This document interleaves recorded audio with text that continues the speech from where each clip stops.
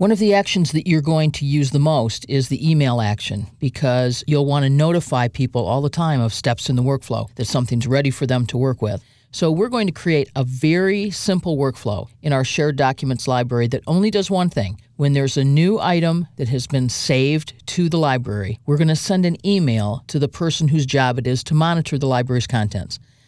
Now, in SharePoint, they could easily set an alert for this, but that wouldn't help us learn how to use the email action item. So, we're going to dive in and create this one stop workflow and learn how to create email messages using this action in SharePoint.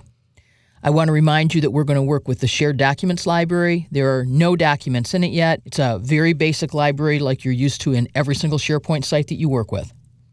And here we are in SharePoint Designer. We've already started it up, connected to this site by opening it and we're going to lists and libraries, and there's our shared documents library, and we can add a workflow here. So we're going to choose list workflow and give it a name. I always start these with a verb. It makes it easier to think about what they are, and we're going to send an email to the library monitor. A description is always a good thing, including, for example, who created this or what its purpose was. And I'm going to say that this was created by Gini Courter to notify the library monitor that a new document has been added to the library. All good. Click OK. Now we're ready to add an action. We're in step one. I'm going to go to action, send an email. You'll find that right here under core actions if you haven't used it recently. If you have, it's up under recent actions. Now, this works a lot like the rules do in Outlook and in some other applications where when I choose an action and it needs more information, there's a hyperlink. Right now it's emailing these users and we don't even know who they are. So I'm going to go ahead and click on the hyperlink and it's going to open a define email message form. So I'm going to send this to Olivia at Two Trees Olive Oil because she's the person who's the monitor for this particular library. And the subject, she's going to get lots of these. I'm going to send her out of the current item the title of this document or the name of this document. They're actually the same. So I'm going to say, here's the document name. So she'll actually get an email that will have the name of the document in here. And now I can actually add some text that would be more explanatory. Olivia, the shared documents library you monitor has a new document added by, and I'm going to go to add or change lookup. And we're going to go to the current item and we're going to find out who created this item. That would be the created by field. So it has a new document added by, created by. Here's a link to the document. I'm going to press enter a couple times so I don't have a URL running off the end of this line. And we're going to insert here an item that you will just absolutely want to remember because you're going to use it over and over and over again, which is the encoded absolute URL. So this is a URL that points directly to this document in the current item in the SharePoint list. I'm going to say OK. So here's a link to the document. I need some way to sign this email message now when I'm all done. So I could say your SharePoint server, Normally, I will add something like if you need more information about this SharePoint workflow, please contact, and it could be my contact information or someone else's, but we would put that here. Particularly when we have a new person join our organization that isn't used to getting these kinds of emails, and they're like, Where do these come from? I can't even tell. So it's nice to do that. Because I'm testing, I'm actually going to put myself in here too. I'll come back and edit this workflow later and remove my name from the workflow. And I'm going to say OK. So this is my entire workflow.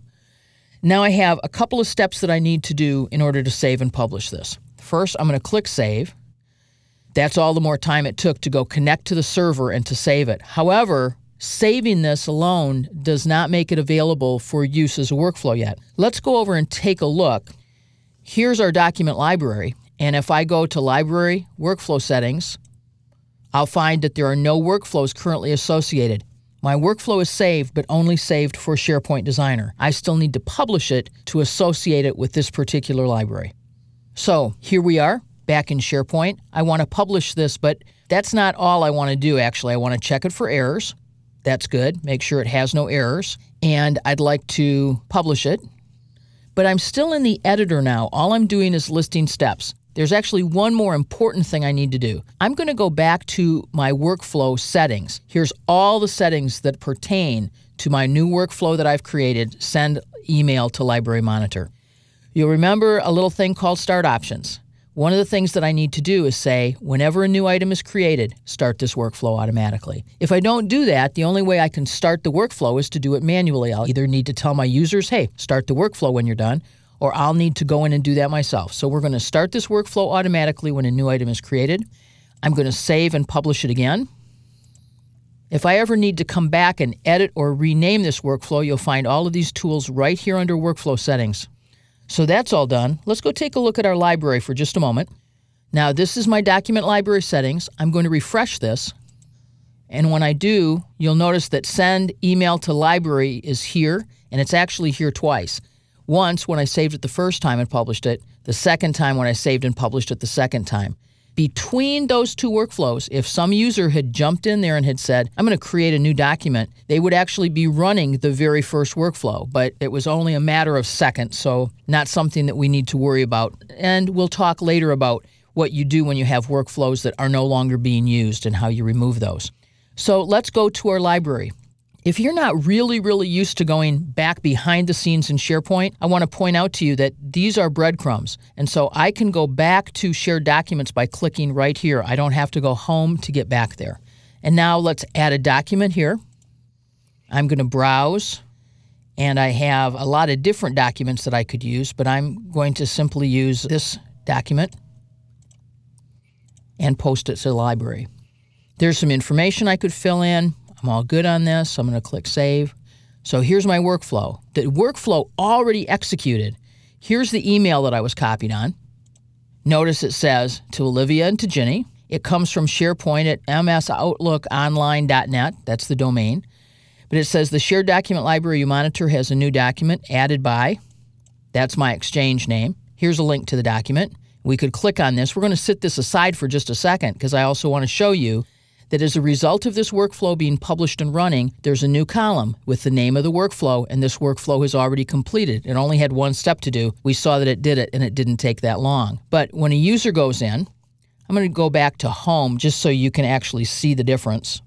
And now when I open this email and click on the link, it should take me to shared documents and will actually prompt me to open that document that I had posted on the SharePoint site. So that encoded absolute URL goes directly to the document right here in the library. And I could simply say I want to open it now or I could save it.